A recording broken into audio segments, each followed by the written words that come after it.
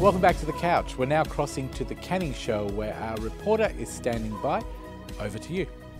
Yo, what up, man? It's your boy ATM Jeff, aka Tall Boys in the building. Yo, right here, I'm the Cannington 118th Canning Show, and we are live right now. We have a lot of sounds, and lights, and also we are celebrating the the magic, the magic, all things reality to followers, food, and the family.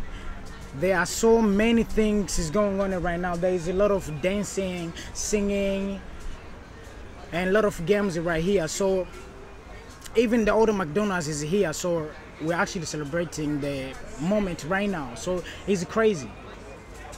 That's what it is.